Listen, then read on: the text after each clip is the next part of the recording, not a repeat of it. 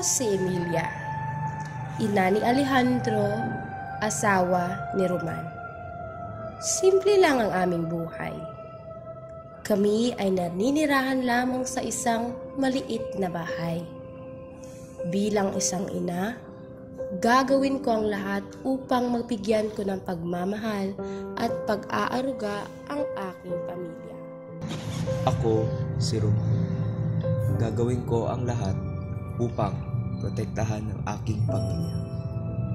Noon, marangya ang aming pamumuhay. Pero pinagkait sa amin iyon. Kaya ngayon, ako ay kumakayod upang masustentuhan ang aking pamilya. Ako si Maximo. Sakong Gwardiya Sibil. Wala akong pakialam kahit na sino man ang aking matapakan. Sa ngalan ng kayamanan, lahat babanggayin. Ako si Alejandro, isang eskular sa pamantasan ng San Andres.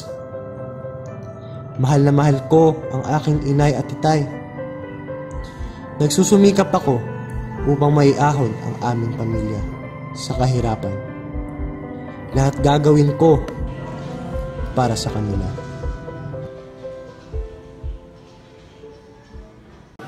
Uy, Mari, ang ganda ng palabas mo. Oo ang gwapo ni FPJ. O mga kumare, si Alejandro, Ayoko nga, bakot-bakot mo.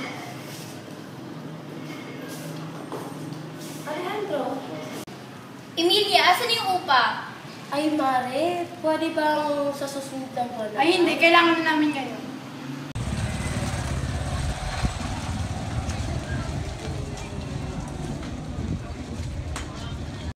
Kamusta, Maximo? Ano na ang plano natin sa kayamanan? Mamayang hapon, may plano ako. Nanakawin natin ang pinakamamahaling ginto.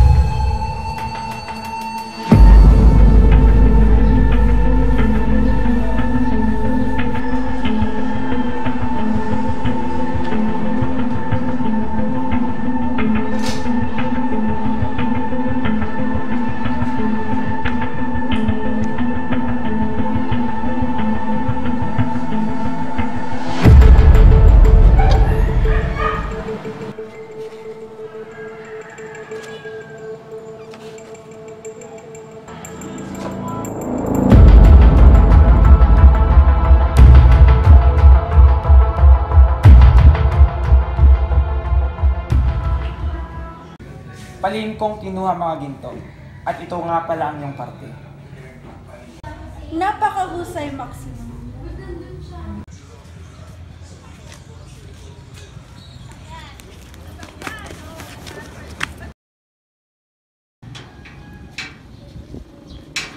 Uy, uy, uy! Sino ka? Bakawalan mo ako!